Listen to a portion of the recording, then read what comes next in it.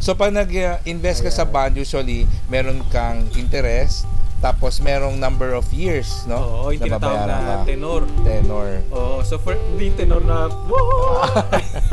Mga soprano yun. eh.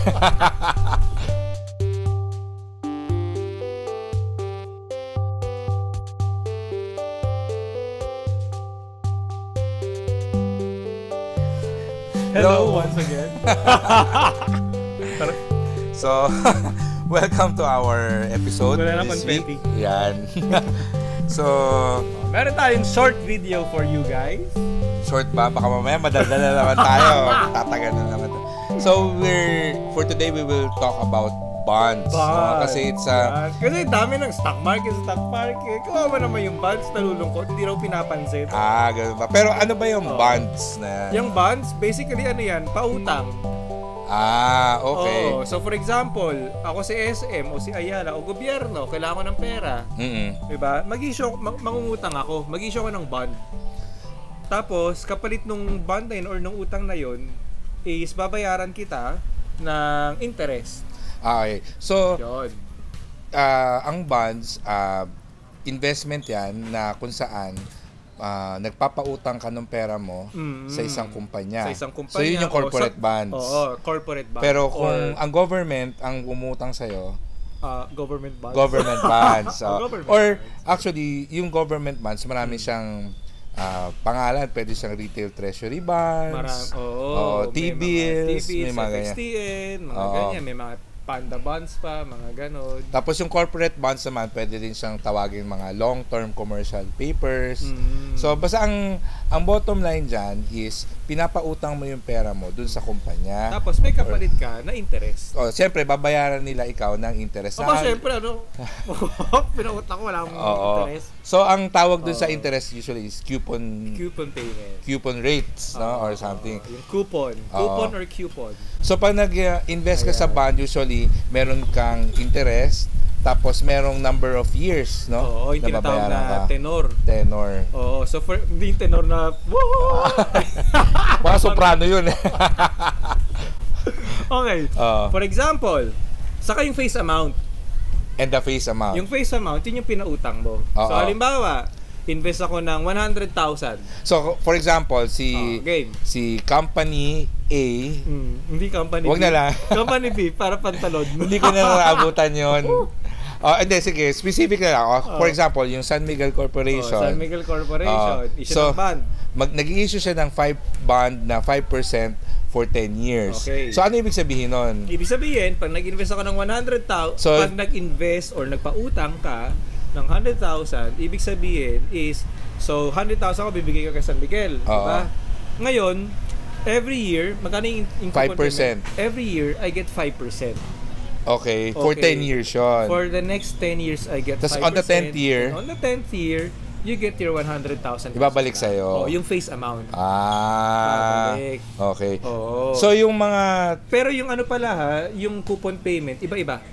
Yung iba nagpe-pay semi-annual, meaning twice a year. Mm, yung iba may quarterly nga eh. May quarterly Tapos din. may annual din. Oo, may annual din. So tingnan nyo rin kung ano, kung ano yung specifics ng bond, kung every kailan sila nagbibigay ng coupon payment. Oo, ang ang ah, corporate bonds, paano nila malalaman kung ah, pwede sila mag-invest sa isang ah, company or corporate bond? Hindi naman yan kasi laging available, di ba? Yeah, usually of course kapag ka meron, kapag for example major newspapers naman yan eh. Ina-announce sa mga Ina-announce newspapers. siya na X company would issue X bonds, ito yung tenor, tapos ila, ito yung coupon rate. Tsaka ano sila, ah, magpa-member sila ng mga investment groups sa Facebook Mhm, kasi usually that's may right. ma- ina-announce din ng mga admin yan. Oh, but if ever lang na walang issuance, okay, Oo. or walang nag-i-issue ng bond, tawag natin doon is issuance. So they can just go for their ano, yung mga to the bank.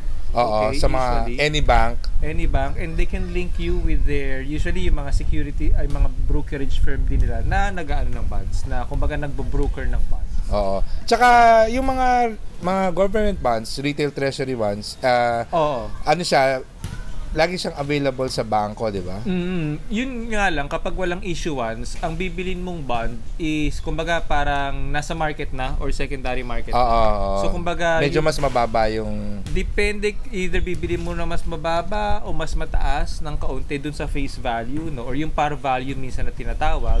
Pero, kumbaga sabihin na lang natin na medyo mag-aantay ka rin kung walang nagbebenta. Oo. Kung may nagbebenta, makakabili ka. Kung walang nagbebenta, Hintay na lang. antay-antay ka ng konti. Oo. So, siguro inisip nila, bakit itong mga companies na to, ah, Nag-issue ng sila bond? bonds, ba't hindi na sila mag-business loan? Mm, kasi usually kapag ban, medyo mas mababa ng konti ring interest rate. Oo. And if you're talking about, kunwari, may project si San Miguel na Papatayo ng bagong airport, ganyan. building. Siyempre, kung may diferensya na kahit 0.5% lang yan or 1%, kung billion ng ano, Yes, budget malaki. mo, malaki rin yun. So, material Oo. na rin Tapos yung government naman, bakit sila nag-i-issue ng bonds? Ah, kasi, ano yan, yung gobyerno. Ba't hindi lang sila mag-print ng pera? kung Ay, kailangan? inflationary yun. Hindi Ah, pwede yun. Tataas yung inflation. Tataas ang inflation. So, yung gov- government para sa, ano yun, day-to-day Pang ano rin, ng pang pang pang Yung fa- pangsahod. pang pampondo sa mga sa mga infrastructure project. projects. Oh, yun. so nag-i-issue ng bonds. At saka, ano rin yan, it's also a tool for the government. Ay, interest rate pala yun. Ibang topic pala yun.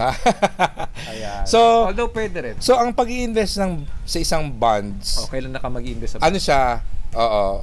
Well, unang-una, low risk ba siya, moderate risk o high risk? Um, relatively compared sa stock market, mas mababa yung risk niya. Oo, Kasi mas- kumbaga, at the end of the life of the bond, 10 or 5 years, you get the face amount of your investment. Okay. So low to moderate risk. Low to moderate Okay. risk. Tapos so kailan ka mag-invest sa bonds? Usually, ang magandang bonds is pang short and medium term. Kasi Oo. syempre, hindi siya masyadong nagpa-fluctuate. Mm-mm. Hindi parang stock market na umakit yung bumababa ng presyo. Saka maganda rin yung bonds like for example, if you want regular cash flow, Oo. gusto mo na every month or every May quarter, natatanggap may ka. natatanggap ka, or kailangan mo ng pera every month or every quarter pang pondo, then bond is good for you. Kasi stock market kasi hanggat unless may dividendo, pero hanggat hindi mo binebenta stock market, wala kang makukuha. Kasi sa ang bonds, ano siya? Kahit hindi mo ibenta, fixed income. fixed income. Kaya rin investment. tinatawag siya na fixed income. Kasi maski hindi mo siya ibenta, may nakukuha kang coupon payment. Ah,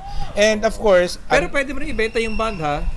so kung kung nag-invest ako sa bond ng isang company tapos parang Oo. kailangan ko na yung pera kaagad. Oo, may pwede mo rin siya emergency ako. ibenta. Kailan ko ibebenta yun? Ah, tatawag ka sa bangko, sa broker mo. Ah, tapos Ano? sila na yung maghahanap ng iba. Sila maghahanap. At yun yung sinasabi mo kanina. corporate kasi, medyo illiquid. So, maghahanap pa sila ng buyer. Oo. Pag government bonds naman kasi, anytime naman, and uh, a lot of clients out there in the market can easily ano buy government bonds. Mm. Kumbaga liquid yung market. So, anytime. So ano siya? Low to moderate risk Mm. and for short to medium term Saka low goals. volatility. Low Hindi siya volatility. masyadong malikot. So, ano siya? And cash. if you want a little, you want to earn a little more than the uh, time deposit, Yeah. pero you don't want the risk na Ng stock ng stock market. At saka medyo kaya mo siyang pawalan ng mga like more than one year, mga ganun. Oo. Well, usually mga corporate bonds, mga at least 5 years yan Oo. eh. Pwede na sa bond. sa bonds. Ngayon, ah, ano yung mga bond fund? Bond fund naman, ito yung mga parang rivalid na to ah.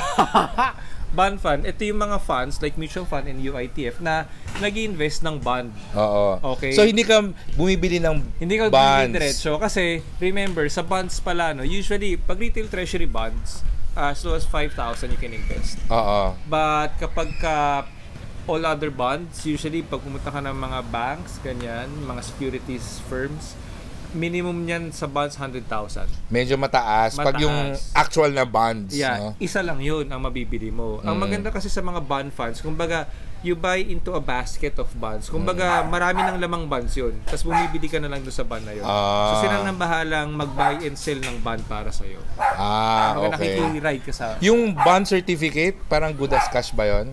ah if direct. Oo, pag direct.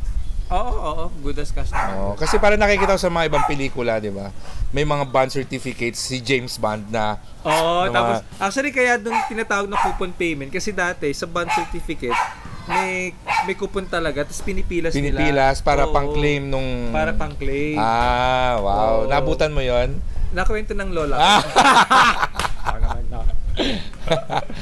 so, Alright. ano yung risk? I heard meron din risk ang pag-invest sa bonds. Like, Yeah.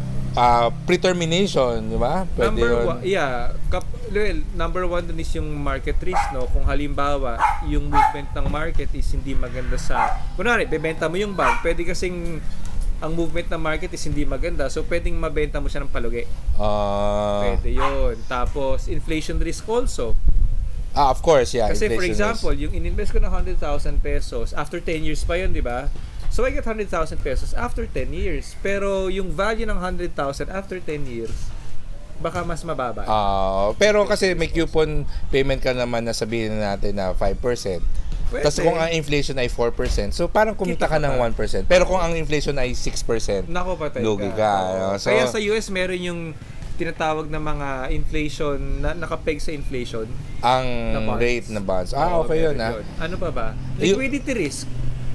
Pag kailangan mo ng pera, Pag kailangan mo ng pera, for example, corporate bonds, pag wala kang ready buyer, hindi mo mabebenta yung ano. oh, so mo hindi siya pwedeng lagyan ng emergency fund mo. Hindi pwede kasi maski subukan ka ng dugo, pag walang buyer, wala. Ah, Saka, i-remember, no, um, you get your coupon, for example, every... At a schedule. At a schedule. Kunwari, semi-annual. So, ibig sabihin, twice a year ka lang magkakapera. mm, mm, mm. So, titingnan mo rin yun. Dapat itatapat mo yung dating ng pera mo dun sa pangangailangan. ah, okay. Tapos sa Call risk.